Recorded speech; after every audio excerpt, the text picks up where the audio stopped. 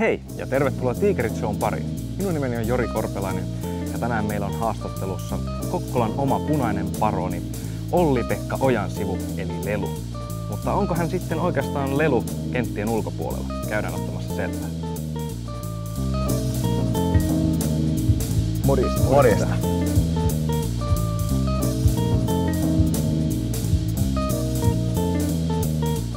Eli tervetuloa vain Tigerit Showhun. Kiitoksia. Miltä tuntuu? No ihan kiva olla täällä, että tota, pääsee taas vähän ääneen. Joo, ja tyhjennetään panoslipas heti ensimmäiseen kysymykseen. Kun tyttärestä täyttää 18 ja järjestää kotibileet, niin aikooko isä olla mukana juhlimassa yömyöhään asti? No se riippuu vähän vieraista, että, tota, että minkä näköisiä vieraita ja totta kai riippuu sitten missä vaimokin on. Mutta Joo, mut epäilee, että isä on mukana. joo, joo. Mi- mitä sä veikkaat, että minkälainen isä susta tulee? Onko se semmoinen, että jaha, siellä on poikia tulossa kylään, että nyt kyllä pidetään... No kyllä mä, mä oon itse käynyt tota ammattikoulun, niin jos nyt semmonen, semmonen jätkä koittaa meille kylään, kun mä olin itekin, niin kyllä mä sen aika kovaan testiin pistä heti. Että, tota. Joo, joo. Mutta kyllä mä oon semmonen ihan lunki, lunki isä, että ei, ei kai musta saa sillä hirveän vakavaa tyyppiä. No okei. Okay. Ja sä oot ilmeisesti tiukkojen ratkaisupaikkojen ja jälkipelien mies. No varsinkin jälkipelien kyllä. Onko oikein, jos veikkaa, että sinusta ei tule uran jälkeen valmentaja? On, se menee ihan täysin nappi, että ei näillä hermoilla ei, ei, tota, ei pysty valmentamaan. Et jos miettii Tiilikaisen roolia, niin se on, arvostan siinä mielessä tosi paljon meidän valmentajaa, että se jaksaa muakin katsella joka päivä ilman hermostumista. Niin se on aika. Okei, mitäs mieltä sä oot niin Tommi Tiilikaisesta? Että hän on ilmeisesti aika tämmöinen laskelmoiva kaveri. Että... Oo, ja tosi semmoinen innostunut ja, ja hoitaa kyllä hommansa, hommansa huolella ja, ja hienosti, mutta porvoolaiset on porvoolaisia, että aina, aina pikkusen pimeitä. Joo. Uh, otatko kortteja pelaajien virkistyssakkorahaston hyvinvointia ajatellen vai miksi? No en, en ota siksi, mutta ei se, se olisi helppo aina kun, aina kun menee hermot, niin pitää tota homma kasassa, mutta kun ei oikein pysy homma kasassa, kun napsahtaa. Et, et siinä tulee sitten aina semmoinen spontaani, spontaani tota, riahahtuminen. Et, Joo. Mut niitä nyt tulee otettua, mutta sille vaan ei välillä aina voi mitään, kun menee hermot. Uh, mitä mieltä olet tuomaritasosta Suomessa, jos vertaa kansainväliseen?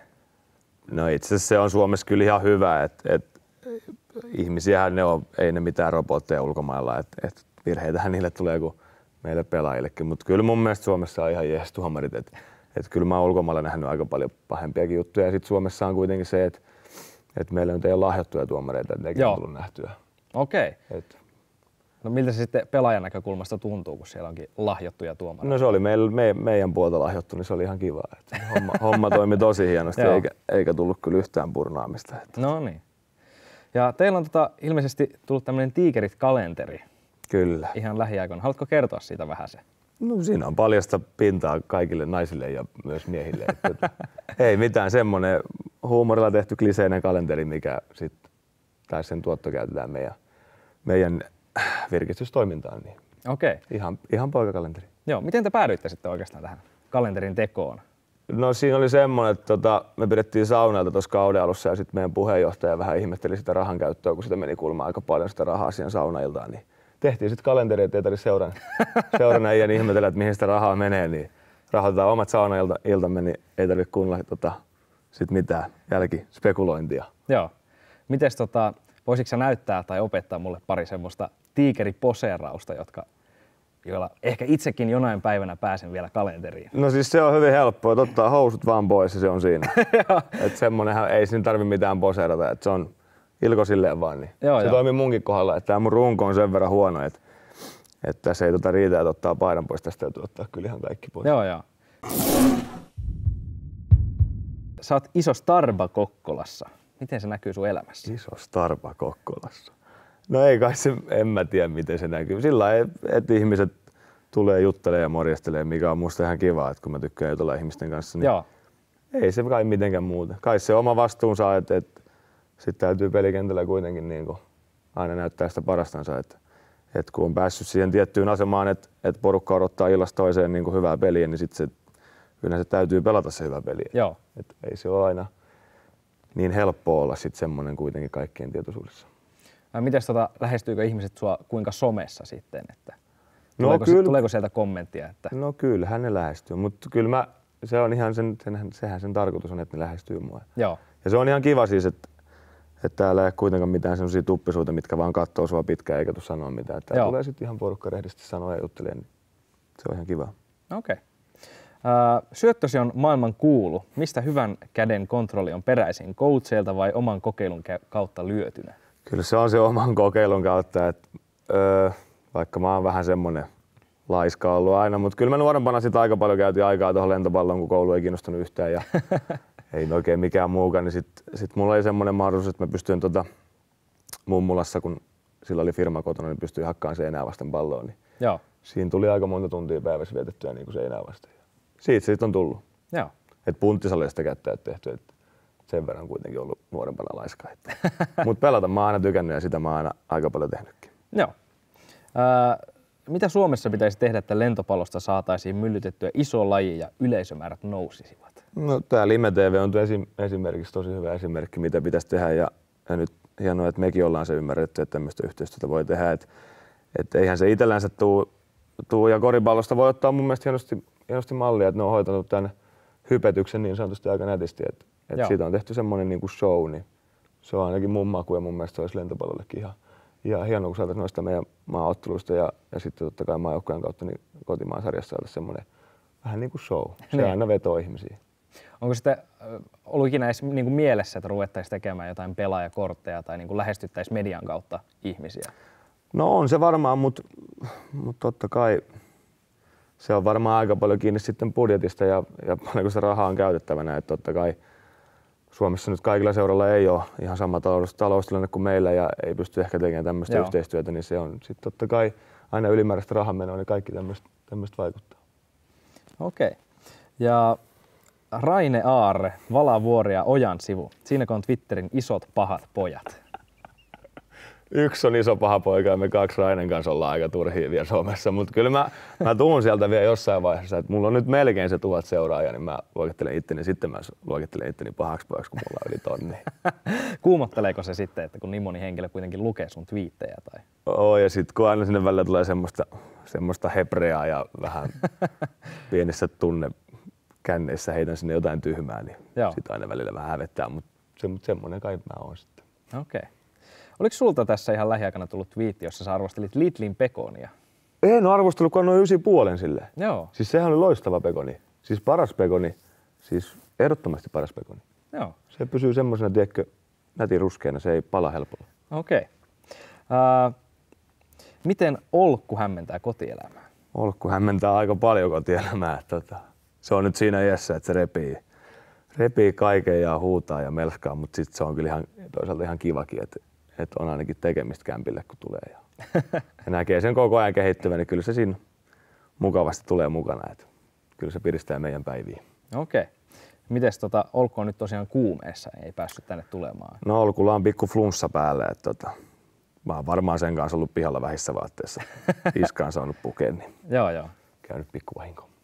Mites tota, kaipaileeko olkku paljon sua, kun sä oot aina keikoilla pelaamassa lentopalloa? Niin... No toivottavasti kaipailee ainakin. Että, tota, kyllä se antaa iso halin aina, kun se näkee mut. Sitten Joo. kun mä tuun jostain reissulta. Että, kyllä taitaa iskeviä kaivata ehkä enemmän, enemmän kuin olkku. Okei. Mistä tämä olkku-nimi sitten oikeastaan tuli? Että... No eka se oli Olgersson, mutta sitten se oli vähän, vähän vaikea, niin sitten mä lyhensin sen Olkuksi vaan.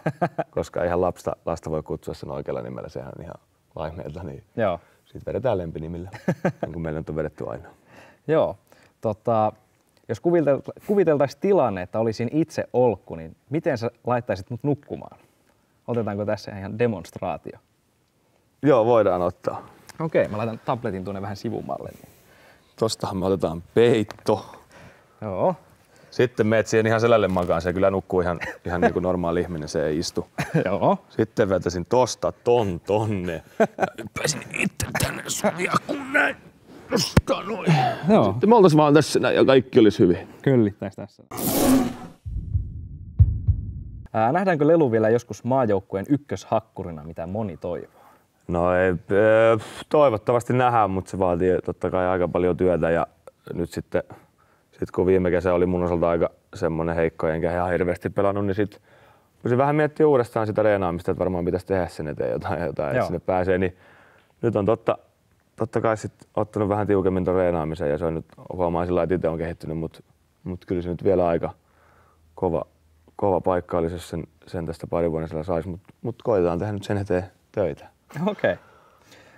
Uh, syväkyykkötuloksiasi on kuvailtu ihan kohtalaisiksi. Polvivaivat ovat, ovat muisto vain. Onko sinusta tullut askeettinen huippurheilija? No ei musta nyt mikään huippurheilija ole tullut, mutta kuitenkin semmoinen, joka vähän nyt miettii tätä reenaamista uudelta kantilta. Että tota, kyllä mä koitan olla semmoinen ihan, mulle riittää kun mä oon sen semi-hyvä reenaaja, kun mä oon aikaisemmin ollut tosi huono, niin mä etenen sillä hitaasti. Nyt mä oon kuitenkin siis vähän ymmärtänyt, että mitä, mitä tämä ammatti vaatii. Okei. Okay. Äh, miten kuvailisit kapteeni Rumpalia ja päävalmentaja Tillikaa? Tillikkaa vai? Tillikkaa. Rumpunen on semmonen, joka Anopin unelma, semmonen kilttipoika. Tekee yleensä päivässä kaksi-kolme kertaa semmoisen käsittämättömän työn, mihin nyt voi liittyä mikä tahansa. Et viime kerralla se taisi, tota, se taisi mennä peruuttaa mun autoa päin siitä parkkipaikalta, mihin kukaan muu ei ole siinä tilanteessa pystynyt. No Tillikka on, tota, pitikö sitä kuvailla? Joo. Tillikka. No mä sanoin kyllä, että sitä valmennuspuolesta, mutta, mutta Tillikka on semmoinen, se on aika sama henkisiä. Heitetään tyhmää juttua, nauretaan paskasta naurua ja, ja tota, tykätään syödä hyvää ruokaa, niin sitä aika useasti myös Tillikan kanssa kokkaillaan Joo. yhdessä. Okei, tuleeko sulla semmoisia ongelmia, että teillä ilmeisesti nämä ranskalaiset on hyvin hyvin iso ei-ei-asia? Mikä? Ei, ei, ei, ne on mun oma tekemät. Nehän on ihan huikeita. Niissähän ei ole mitään epäterveellistä. Joo. Mutta siis, kyllä me ollaan Tiilikaisen kanssa kyllä aikamoisia herkkuperseitä. Okei. Okay. Uh, sano jotain hyvää toisaalta kehitettävää tiikereistä. No varmaan markkinointi on se, mm, mikä pitäisi olla mun mielestä vähän parempaa, koska me ollaan kuitenkin, halutaan olla Suomen ykkösseura ja ja meillä on kuitenkin hyvät, hyvät fanit ja sitten pelataan hyvää lentopalloa, niin sitten se vaatii se, että se markkinointi tulisi, tulisi samalla tasolla, että, että me saataisiin tästä yhdessä jotain isompaa semmoista, mitä Suomessa nyt ei välttämättä ole nähty. Niin se olisi se mun, mun, mistä mä tykkäisin, että me oltaisiin sellainen Suomen ykkösseura, mikä, tota, mikä on niin kuin, mistä puhutaan. Okei. Okay.